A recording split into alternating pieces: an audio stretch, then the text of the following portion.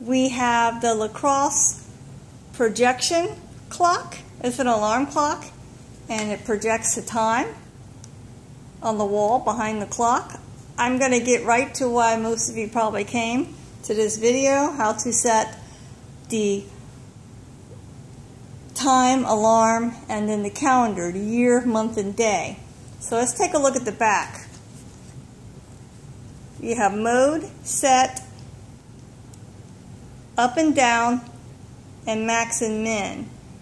Mode just rotates between time, alarm, and date. Let me show you that. Right now we're on time. Alarm. You can tell because it says AL for alarm. And now there's calendar. You have the year on top and you have your month and day. So again, time, alarm, calendar. Let's go back to time to start setting it. You have to be in the mode you want. We want to work on our time. We want to make some modifications. So to start changing the time, you have to hold and press the set button for like three seconds. If you just tap it, watch what happens. If you only tap it, it switches from Celsius, C to C, to Fahrenheit, okay? So while you're in time mode, to change, start changing the time, hold and press the set button for like three seconds. And now the first thing you're asked, do you want 12 hours or 24 hours? You press the up or down button,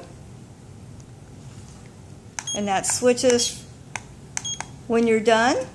Well, I don't want that. Let's go back to 12 hours. When you're done, you're going to press your set button.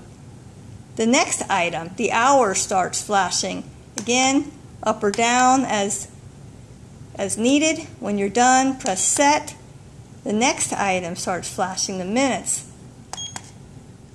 Go up, down, and up, or whatever you need.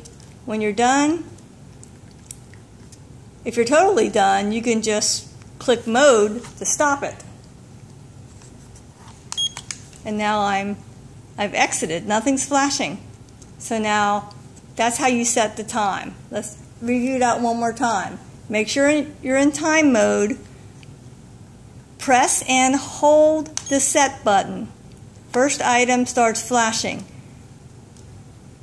Set goes to the next item to change. The hours, set again, goes to the minutes. And again, to make changes, press up and down. When you're totally done, press set and make some more changes if you didn't do it right.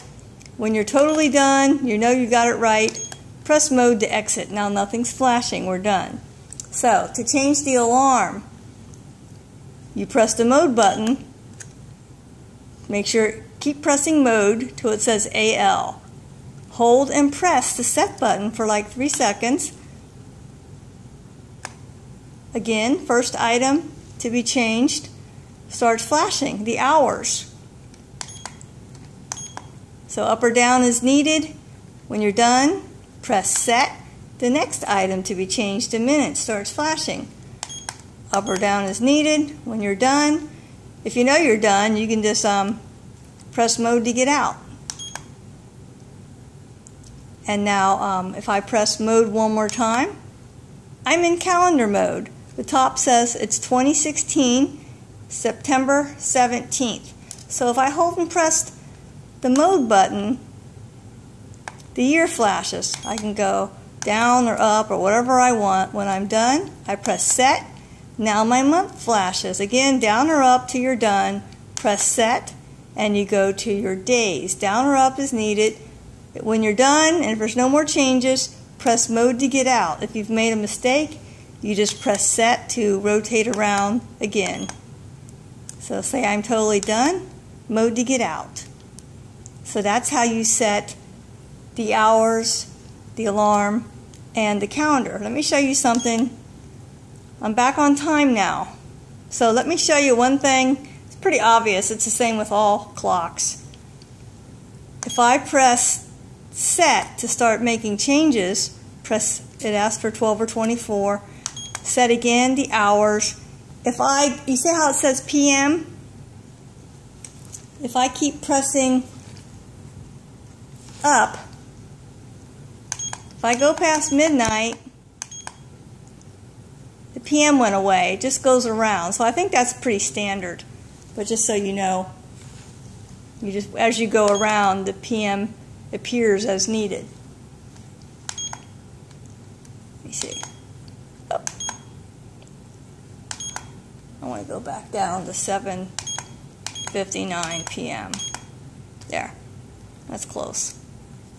And now set goes to minutes. Press up because it's 7.59. When I'm done, X out.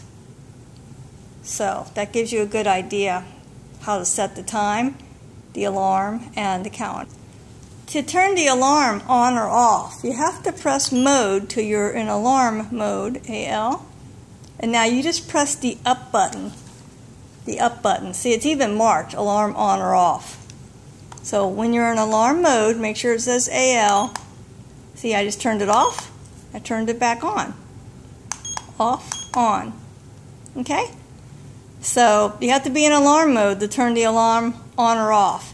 If the alarm's going off and you press the top button, snooze, it'll snooze for four minutes and you'll see some like a few Z's here flashing. Earlier I mentioned um, if you just tap the set button, it switches between Celsius and Fahrenheit. So let me, you got to be on the time mode. There we go. And now if I just tap the set button, I don't hold and press it. If I just tap it quickly, see Fahrenheit, Celsius. Fahrenheit, Celsius. So that should give you a pretty good idea how to use the clock. It projects, it says projects to a back wall. So, and there's a focus dial where you can sharpen the image as needed. So you go back and forth. And if your clock ever totally gets messed up or it's froze up or something, try to take a pen tip or a paper clip and hold and press the reset button. So I hope that gives you an idea of how to use this. The max min, it sets the, I guess it means something in the temperature world, but see it says minimum temperature and max temperature. Maybe that's for the day or something. I'd have to, um, you'd have to research that. So that's basically the La Crosse technology projection clock. I hope that's helpful. Again, um, let me just review because it's a little odd. Go to the mode you want, hold and press the set button to start setting. Okay, and use your up and down buttons to change. Hit set to go on to the next item. When you're totally done, hit mode to exit. Thank you.